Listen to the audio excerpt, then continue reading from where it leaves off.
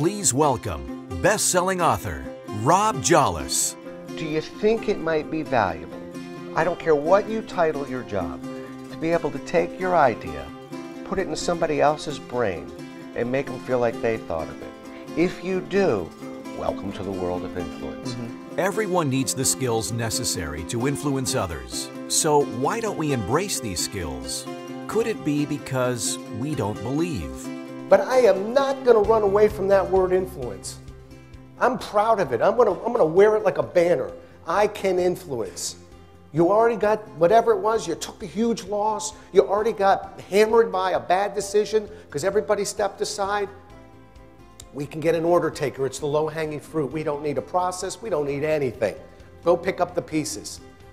But every now and then, when they whistle and a salesperson comes down the pole, it's somebody who's paralyzed by that fear of change and needs a salesperson and needs somebody who can empathetically and compassionately ask the right questions. A dynamic professional speaker, Rob Jolles has spent over 30 years teaching, entertaining, motivating, and inspiring countless clients, conducting thousands of keynotes and workshops all over the world.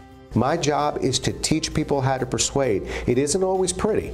Persuasion is not always pretty, right. but we can wait for a problem to become dramatic, or we can have a conversation before it becomes a large problem.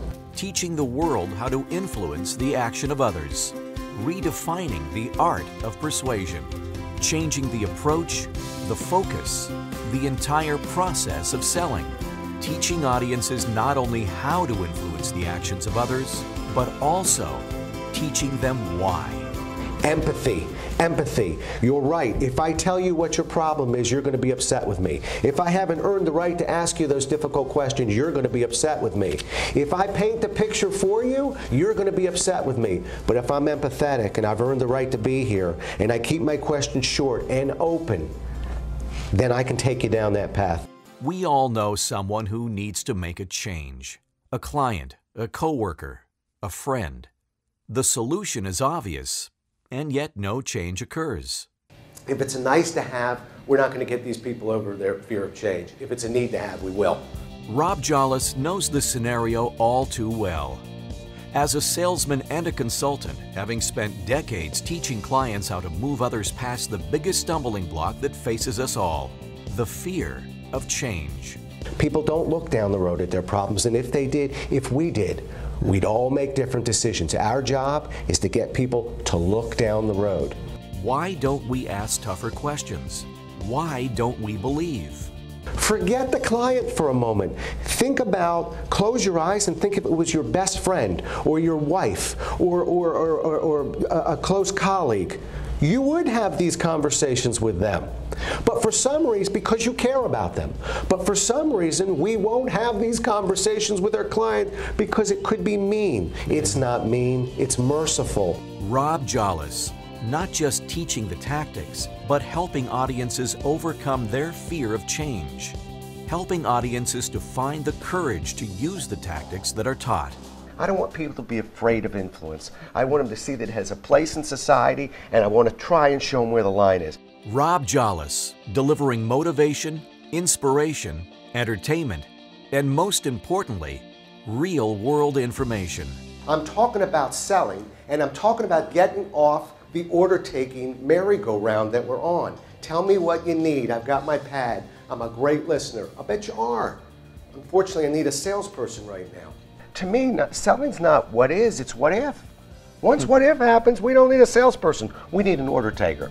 Too often, audiences are shown various tactics without fully understanding the logic behind these tactics. The real learning begins with understanding how people make decisions, what Jolles calls the decision cycle. There is a buying cycle. It's something that I write about and teach. I actually won't teach a person how to sell until I show them the repeatable, predictable steps that somebody makes when they buy. Hmm. Eight, eight separate steps, three critical decision points. And why would that be irrelevant? If I can track what, the way you think, why, why wouldn't my first question for the rest of my life be, before I even think of a tactic, where's Steve? where, where is he in his decision cycle? And let me line up with that.